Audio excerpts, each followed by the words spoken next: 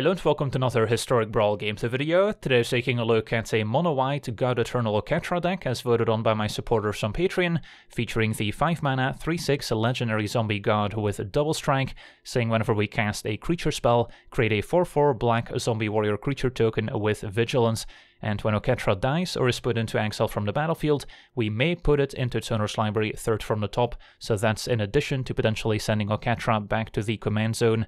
So of course our deck is incentivized to include a lot of creatures to trigger Oketra's ability, and that's exactly what we've done here. Taking a look at the breakdown, our deck is mostly creatures, we're pretty aggressively slanted, and we've got some disruptive elements as well to slow down the opponent's game plan.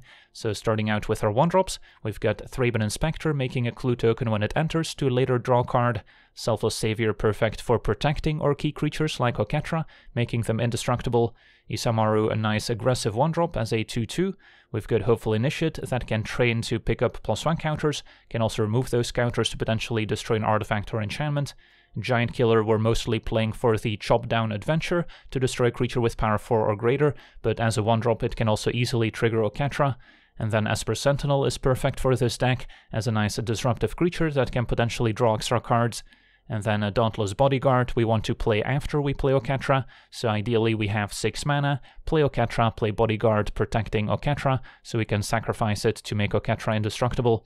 And then the Elsate of Life's Bounty can also be sacrificed for 1 mana to give protection to one of our creatures. Then at 2 mana we've got Adanto Vanguard, which we can make indestructible at the cost of 4 life, so shines against more controlling decks. Luminarch Aspirant, even after the Alchemy nerf, is still quite powerful, giving us an extra plus 1 counter every turn. Ambitious Farmhand finds a plains when it enters a battlefield to make sure we can keep hitting those land drops so we can play Oketra.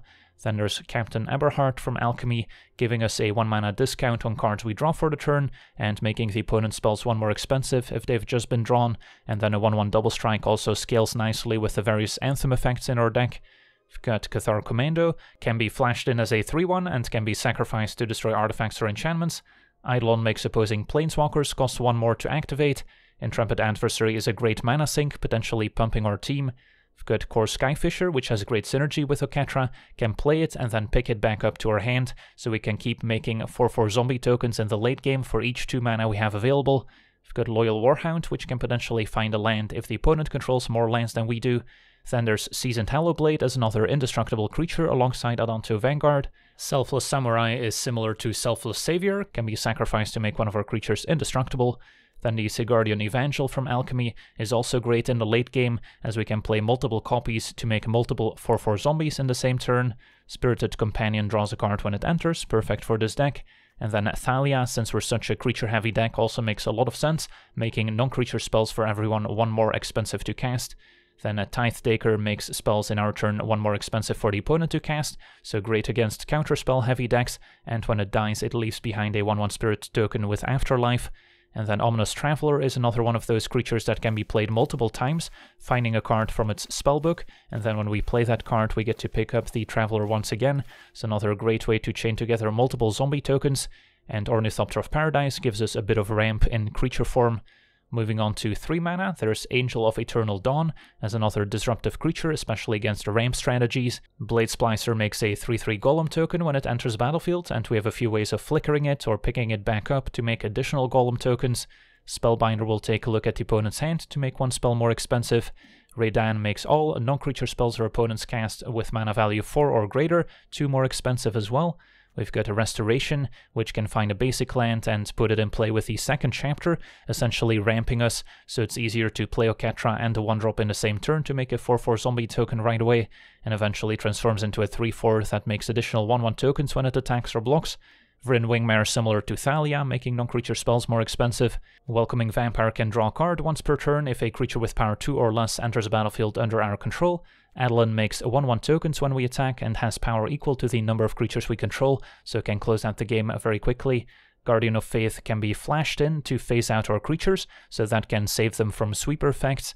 We've got a Ranger, Captain of Eos to find a 1-drop when it enters, so you can find all these different 1-drops, usually go for Selfless Savior or maybe an Esper Sentinel if we're up against a deck with a lot of non-creature spells, and can also be sacrificed to prevent the opponent from casting non-creature spells, so that can potentially prevent the opponent from countering Oketra in the first place. We've got Skyclave Apparition as removal, Benalish Marshal as an Anthem effect.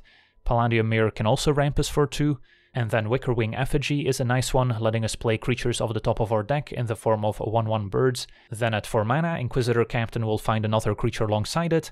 Oketra the True is an indestructible god with double strike, but cannot attack or block unless we control at least 3 other creatures, but can also make 1-1 tokens with the activated ability.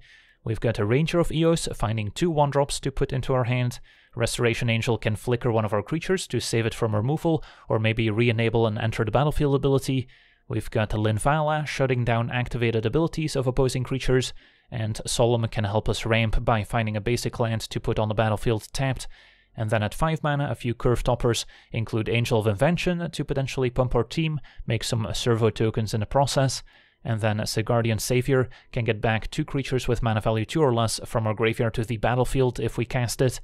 Then looking at our non-creature spells, we've got Curse of Silence to make the opponent's commander 2 more expensive, Paladin class can pump our team, also makes spells in our turn more expensive for the opponent to cast, so once again great against counterspell decks.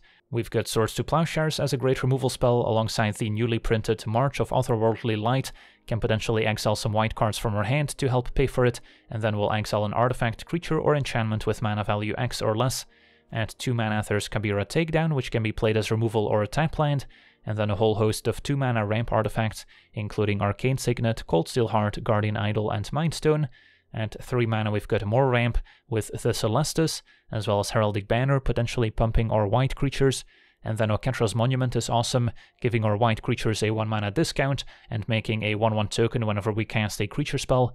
And then last but not least, we've got Key to the Archive to draft a card from its spellbook, and will also make it easier to replay Oketra, especially if we have to pay the commander tax. And then our mana base has a whole bunch of utility lands. Tyrite Sanctum is a nice one since our commander is a god, so we can skip the first step and immediately sacrifice it to make our god indestructible. We've got some creature lands like Crawling Barrens, Blinkmoth Nexus, Faceless Haven, which is why we have all these snow lands, as well as Cave of the Frost Dragon. A few more utility lands including Castle Ardenvale to make 1-1 tokens, can channel Eiganjo to deal some damage, we can sacrifice Shefet Dunes to pump our team, and then we've got Bonder's Enclave to draw extra cards if we control a large creature. So yeah, that's our deck. Now let's jump in some games and see how the deck does. Alright, we're on the play, facing Nicol Bolas the Ravager, Grixis control. Our hand's okay, um, missing a bit of ramp maybe, but uh, probably still good enough to keep. Turn 1 is Isamaru, hope to draw 2-drop. If not, still have some good 3-drops to choose from. Ooh, perfect. Mindstone doesn't get better. I guess we'll play our white source, although I could see drawing a plains and then wanting access to Eiganjo later.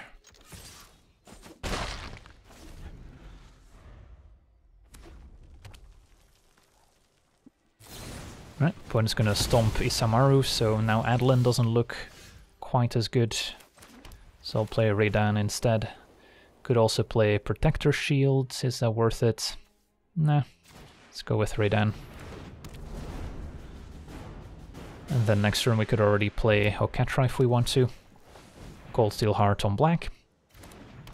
Angel of Eternal Dawn is interesting.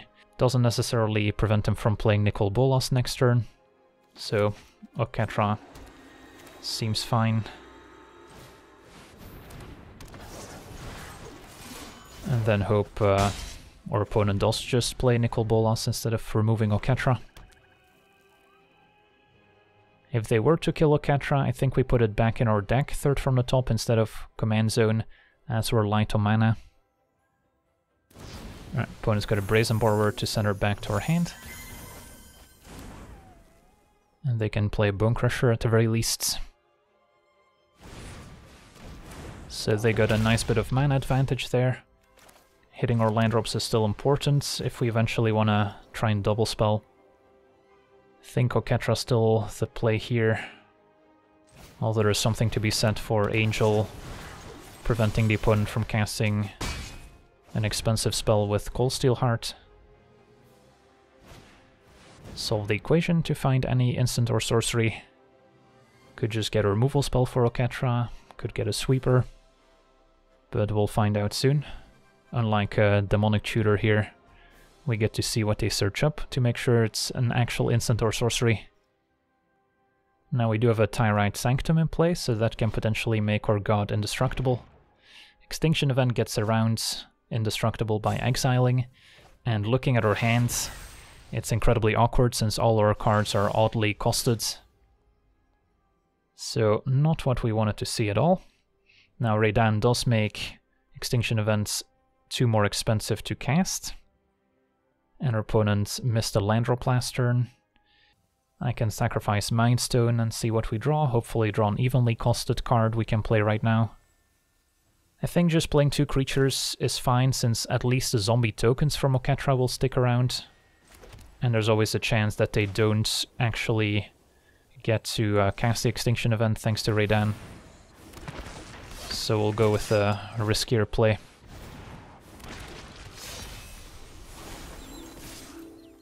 And then our opponent might jump Oketra, but then we get to keep our 1-1 token at least.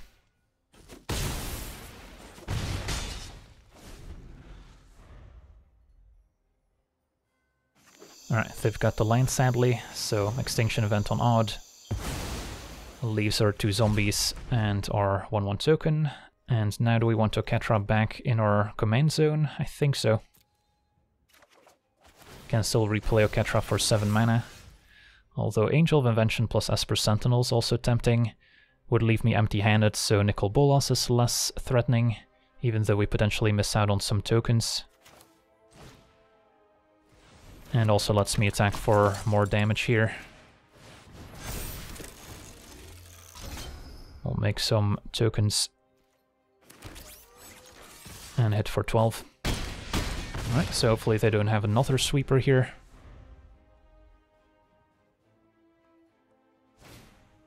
Battle Frost and Fire, ouch.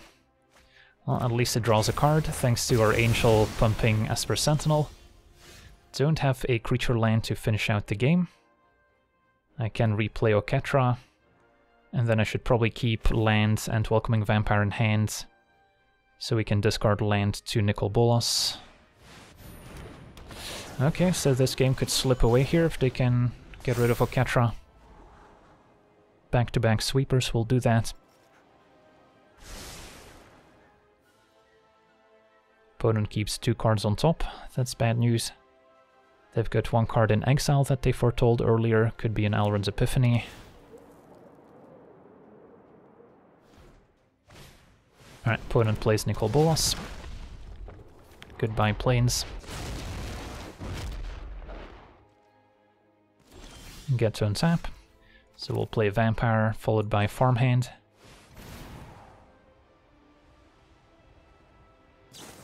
Alright, saw it coming was the foretold card instead. At least we still get a zombie token.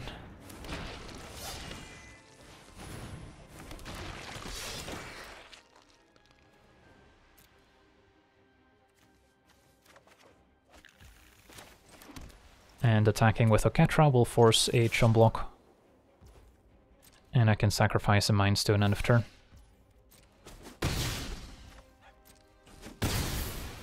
Let's see the farmhands. Can transform at any point, so we could also do that if we want. Alright, is there a third sweeper? The fact that they counter the Welcoming Vampire implies that they don't. Opponent's tapping a lot of mana.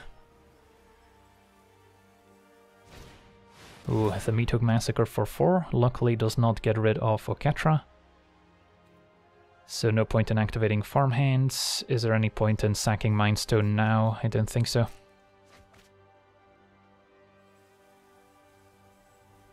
Now they might have some sort of uh, burn spell to finish off Oketra. That would be the worst case scenario here.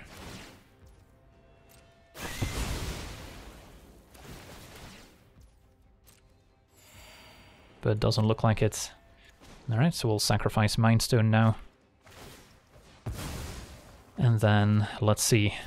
Tyrite Sanctum, in addition to making Oketra indestructible, can also just put a plus one counter on it, even though it's already a god. And then, yeah, we would have 8 damage, which is enough for lethal. Alright, sweet. Close game here against Grixis Control. On to the next one. Alright, we're on the play, facing Kodama of the West Tree. And we've got a nice opening hand. Turn 1, probably fine with a Paladin class over Selfless Savior, since we might be able to keep it to make a zombie with Oketra. Turn 1 Elves is scary too, but now Mindstone ramping into Solemn is a nice start for sure.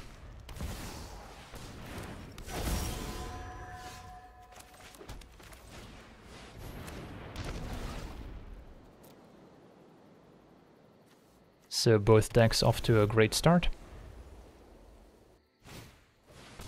Oran-Rief Ooze puts a counter on Kodama, does trample as well, so probably no point in jumping. Opponent gets to search up a land.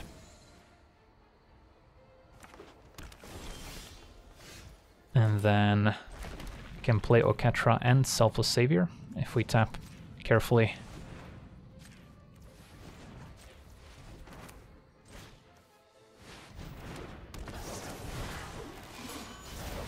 So yeah, it doesn't get much better than this.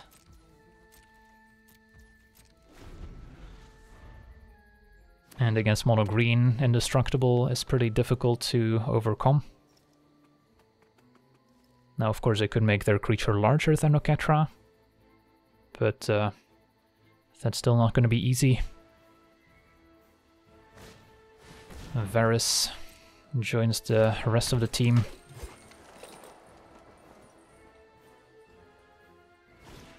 And a Gilded Goose. Alright, so now we're at a point where we would love to find some of our creatures that can basically keep making tokens with Oketra, something like the Skyfisher or the Ominous Traveler.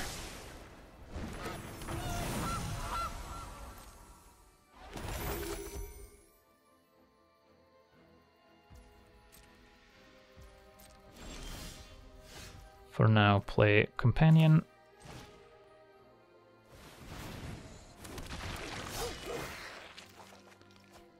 Play our Palladium Myr.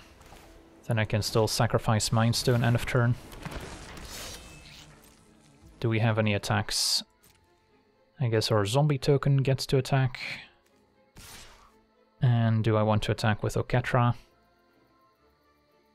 Yeah, that's probably fine. Still have our Selfless Savior we can use.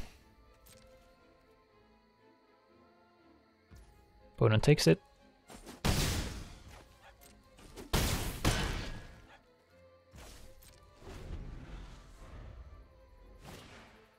Verdurous Gearhulk, not bad. 4 plus 1 counters to distribute, to synergize with Kodama. So the ground is going to get pretty stalled now. Another reason to try and find one of those recursive creatures that can keep making zombies.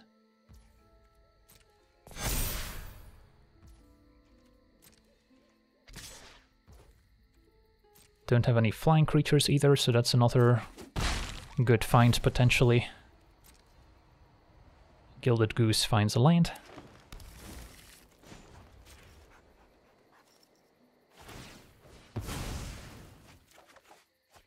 Ooh, Intrepid Adversary.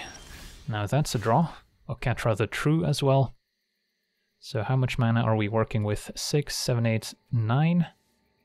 So can pump our team three times, and that should be enough for a powerful attack here. Can potentially pump twice and then level a paladin class instead. Although, don't really see a reason to go that way.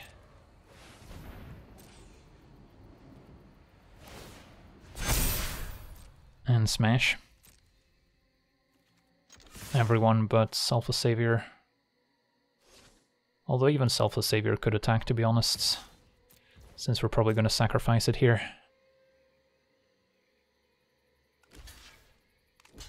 A nice 6-9 Oketra.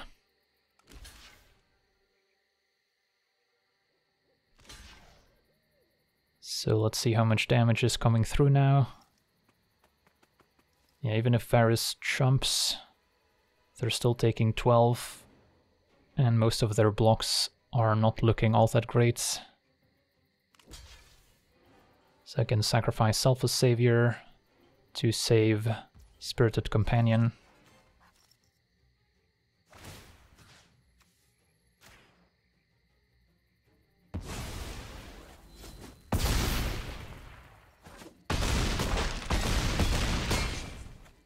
Their opponent falls to 3, and they'll need something very special. It's gonna be a Primal Might killing adversary. That's a start, but at 3 life they'll need more than that. The Great Henge, as the name implies, can gain 2 life. They've got a food token they can sacrifice as well. But is that enough? A creature to draw a card.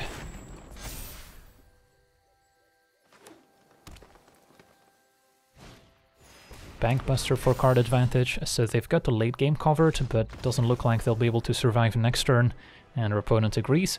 Awesome, on to the next one. Alright, we're on the draw, facing a red-green aggro deck. My hand's okay. Turn 1 Lavamancer, that's a scary card. Might have to keep Takedown as an answer, but then again, we're also light on lands. So I think I still play tapped here. And then Apparition can maybe take care of the Lavamancer.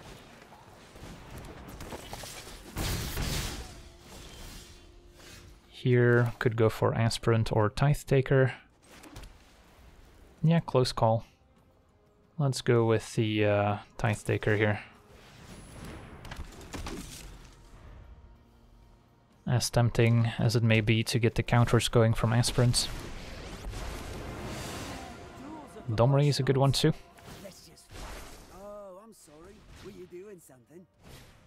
Enough mana for a Wildwood Tracker. So opponent off to a very aggressive start. Have to play Apparition here, and then I guess the Lavamancer is not that much of a concern without any cards in Graveyard. So we might just get rid of Domri over Gallia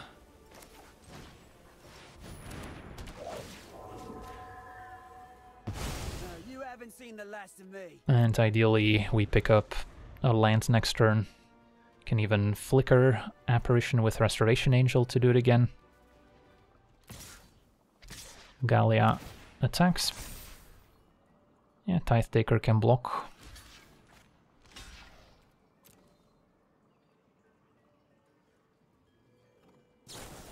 Opponent's got a pump spell, unsurprisingly. That's okay. And there's a land. So Restoration Angel is an option, or we can develop Ornithopter of Paradise alongside maybe Luminarch Aspirants. And then Luminarch will probably be the target of removal over Ornithopter.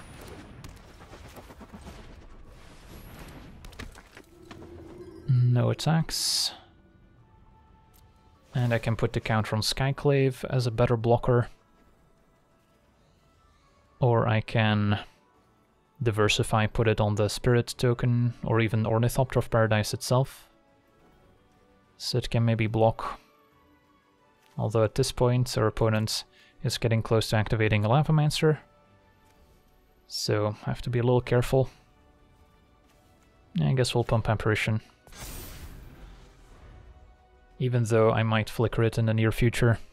Just don't want to have it killed with a 2 damage burn spell. Right. Domri's Ambush kills Apparition. But now we get to play Oketra, which can run away with the game.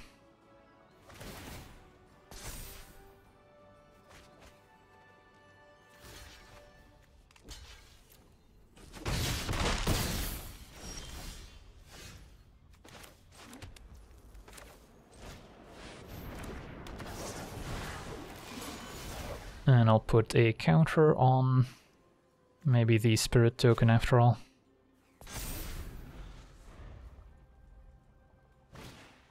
Mox Amber for one extra mana. And a play with fire kills my token, that's fine. As long as we keep Oketra and get to untap and make a whole bunch of zombies, I'm happy. Shock kills aspirants.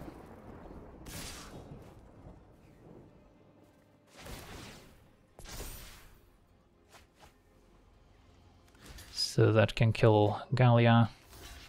Soak up one damage, take five. Even with a pump spell we should be okay.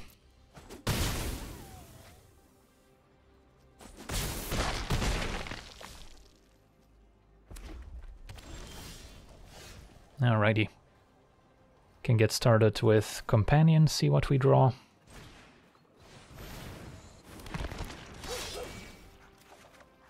Ominous Traveler is very fun too. Although somewhat tempting to keep up Restoration Angel. Or I can go Ominous Traveler plus Reidane, make more zombies, which is maybe the priority.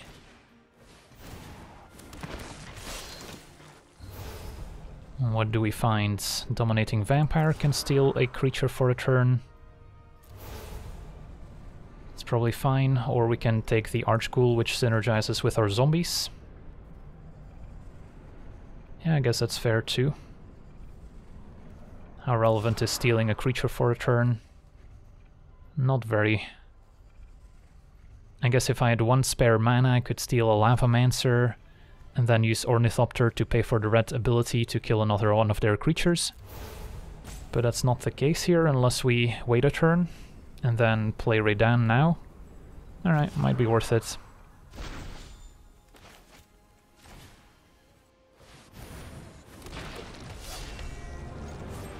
And attack. Could die to burn spells, which was a reason to play Protector Shield but we'll see how this pans out.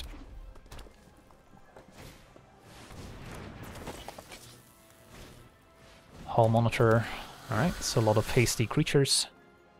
Maybe a last-ditch effort here. So we can line up some blocks. And our opponent has seen enough, yeah, so close game here against the red-green aggro. On to the next one.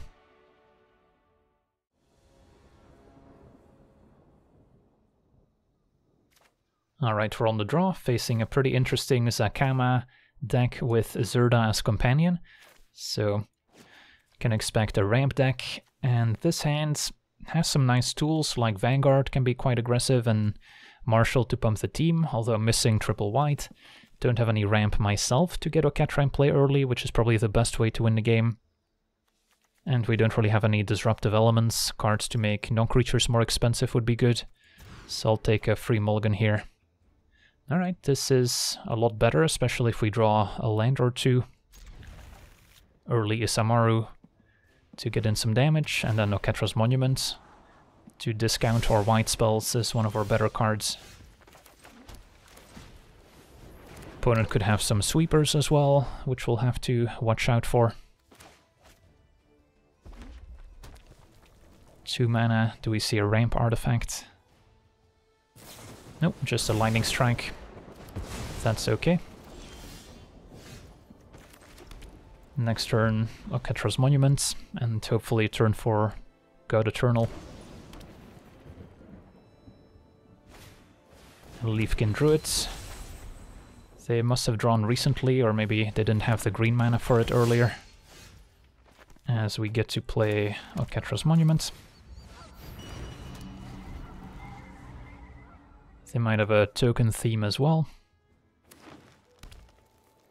Also explains Leafkin Druids as a way to make extra mana if they control lots of creatures. Key to the Archive, always powerful, so how close are they to Zacama? They've got 6, 7... They're getting close. Opponent did take a card from Key to the Archive, so it could be all sorts of scary cards.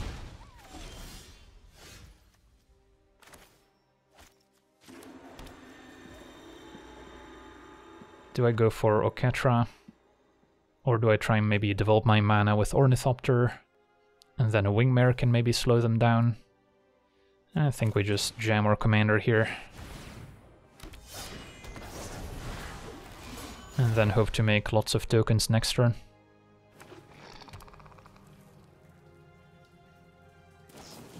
Doomblade is what they found off Key to the Archive, sadly. Alright, so back to the command zone doesn't seem like an option here since we're very far from replaying Oketra. So we will put it back in our library.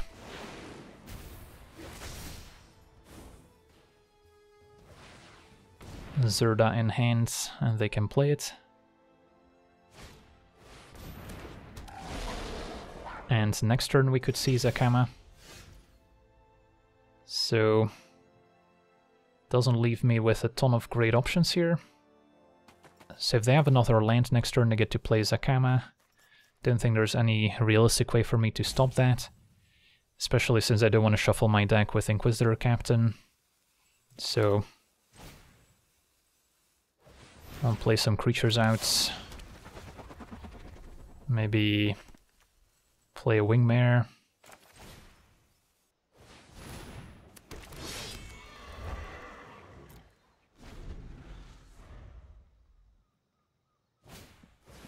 It's gonna be Heliod Suncrowned. And a 1-1 token. So now Leafkin Druid makes 2 mana and will be able to potentially cast Zacama, but now a triple block I guess could maybe delay that by a turn.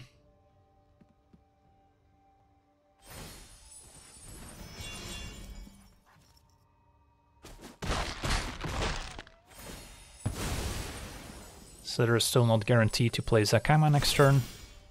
And a Curse of Silence is actually a great draw. So that will name Zacama. And we're still maybe in this game. And then probably play Reidane.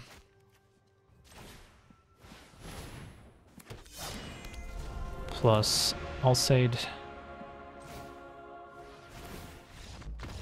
And our opponent scoops it up. Awesome. So Curse of Silence to the rescue. Next turn we can play Oketra, maybe play Hallowblade, make a zombie, and then Inquisitor Captain can be played afterwards to get more value. Sweet, on to the next one. Alright, we're on the play, facing Ashiok Dream Render, so potentially a mill deck. Also shuts down search abilities, which our deck has quite a few of, but uh, this hand seems okay. Turn 1, maybe go with Hopeful Initiates. And then if I draw lands, we can wait on the farmhand and maybe play the Samurai first. Now I'm liking Ornithopter. And then could play Adeline next turn. Remorse probably takes her away. They could try and mana screw us by taking the farmhand, but then we still have Adeline plus Initiate as a powerful combo. And we draw land anyway.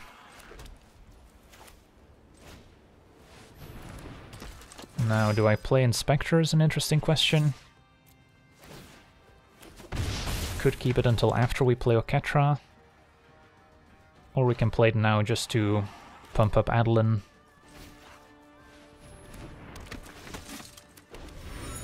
And if we don't draw land, I can sack the clue to draw card. So there's Ashiok. Dream big. Your final Alrighty, so we can play Oketra. And then, don't even know if it's worth it to go after Ashiok here. I think we just send everyone at their face.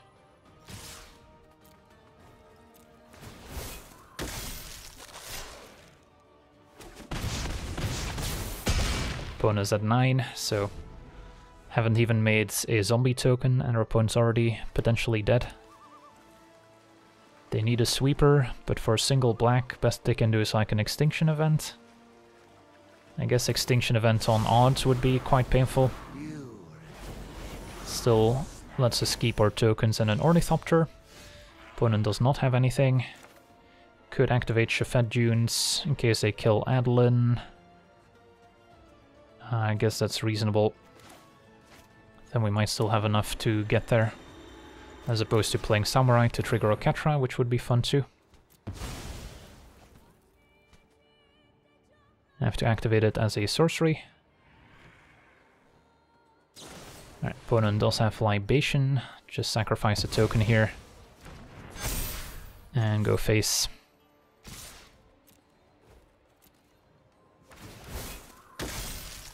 Yeah, so taking away the farmhand instead of Adeline did not pan out for them. On to the next one.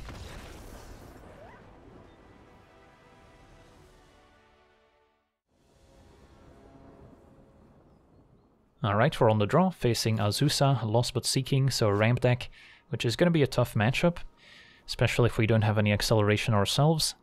This hand, you know, we can curve Initiate into Commando, we've got Apparition to exile Azusa, which is just going to delay it by a turn. So is it good enough?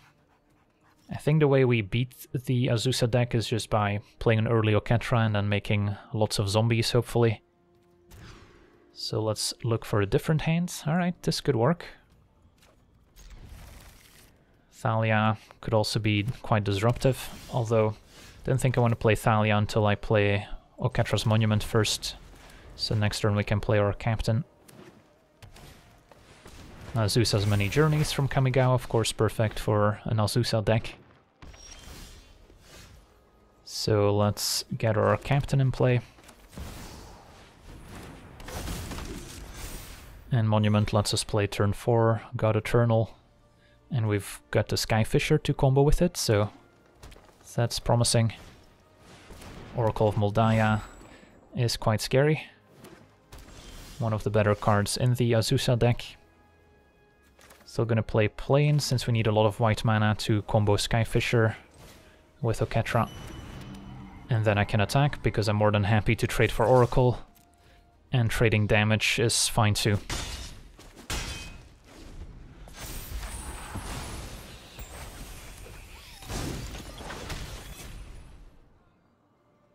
Opponent's got a Return of the Wild Speaker on top, and we know about the Tarrasque in hand.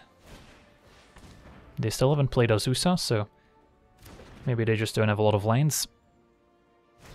Nissa is going to let them play the Tarrasque on the following turn, so not what we wanted to see at all. Well, I can play Oketra. Uh, playing Thalia to slow down Nissa probably doesn't accomplish much.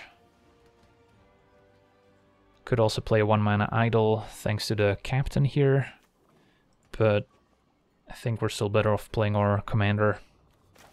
So we'll do that.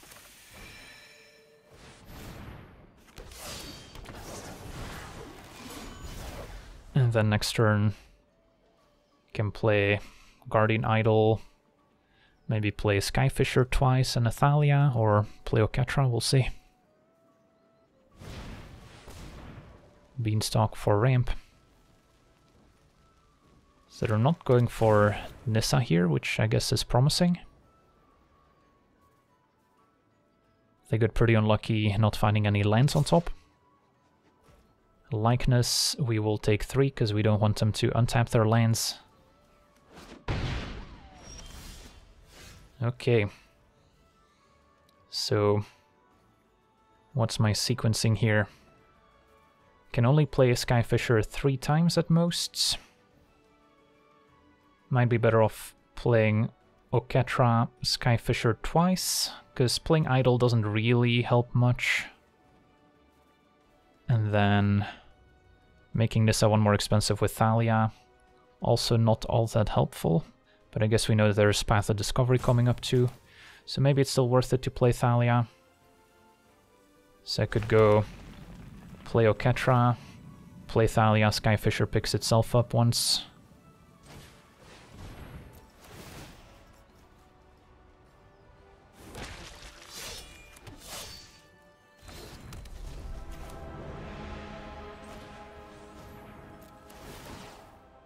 Alternatively, could have played Cave and let uh, the Skyfisher stay in play.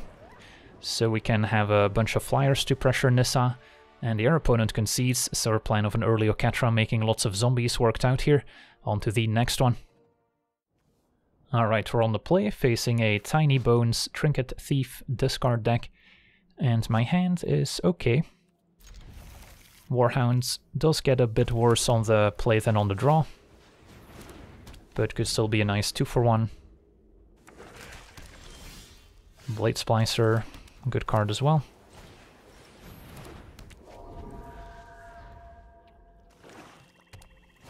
There's Tiny Bones. And then probably just play a Blade Splicer here. And attack for two. Try and be aggressive. Can leverage Paladin class. Although ideally we can play our Captain next turn. Fatal Push on our tokens, a nice answer.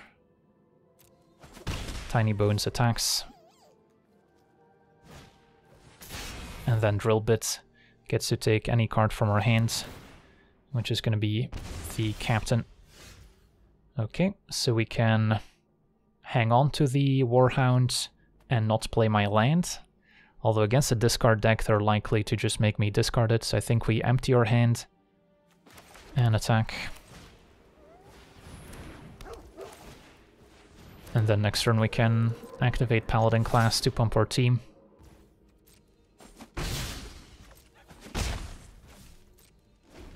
Sure, they can activate Tiny Bones to deal 10 damage, but that costs 6 mana. Inscription to kill Eidolon. Can save it with the Alseid. Although, don't even know if that's worth it. Yeah, I guess it uses my mana efficiently.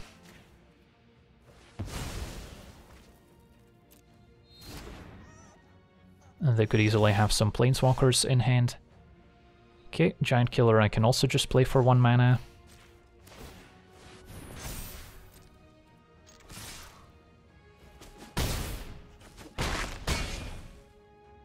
So by playing Giant Killer, we're potentially overextending into a sweeper effect, but I think it's still worth it.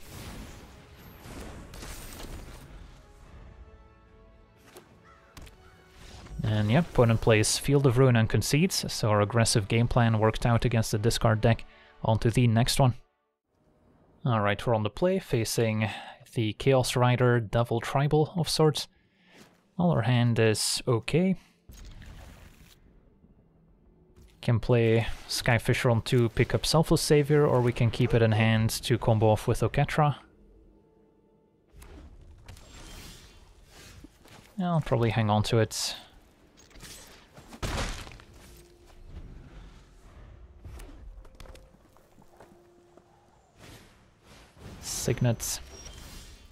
I'm probably okay to exile with Apparition.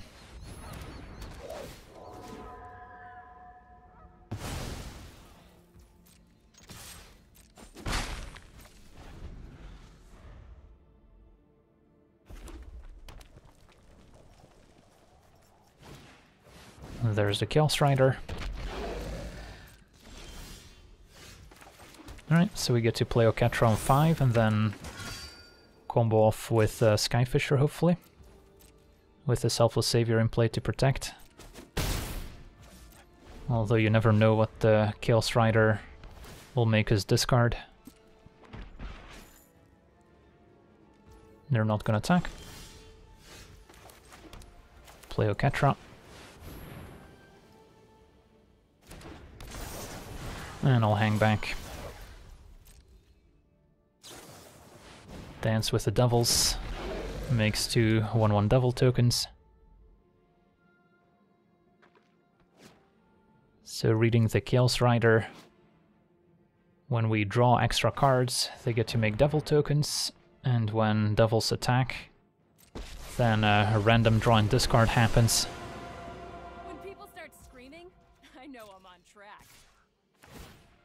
Alright, hopefully we don't lose Skyfisher.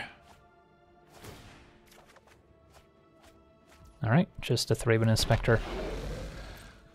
And then we'll kill it with First Strike.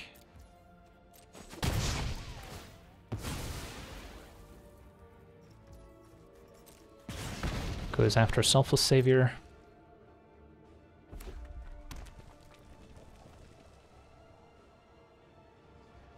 And they're trying to kill Marshall. We'll save it with the Savior, which would have died to Marshall leaving anyway. Alright, and this is where we get to combo off with Skyfisher. So, play this, pick itself up. Now, funnily enough, our opponent does have the random discards to potentially break up this combo. But otherwise we could keep doing this until the end of the game. And then Probably want to pressure Chandra to an extent.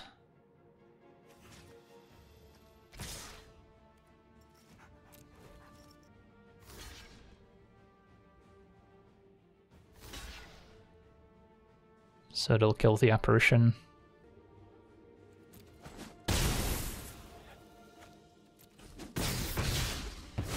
And given that they were blocking with two devils, there's no way for me to save apparition by only dealing damage to one of them.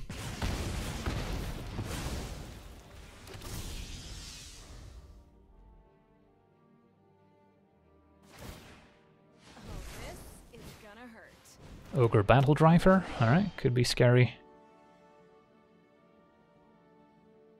But they still need to deal with this Oketra combo. And your opponent realizes that they won't be able to beat this engine. Sweet. Alright, so we get to see our Oketra Brawl deck in action, and yeah, if you can get Oketra down ahead of schedule, especially with something like Oketra's Monument, the deck looks quite impressive, being able to make all those zombie tokens. Against decks with a lot of interaction, especially counter spells, then it becomes a bit more difficult to get Oketra online, and you'll need to rely on the early aggressive start to get there instead. So not a perfect deck by any stretch, but can certainly win some games. So that'll do it for today's gameplay. Wanna thank you for watching, hope you enjoyed, and as always, have a nice day. I also want to thank all my patrons for being part of the channel, and you can become a patron yourself today and decide the topic of future videos over at patreon.com forward slash legenvd.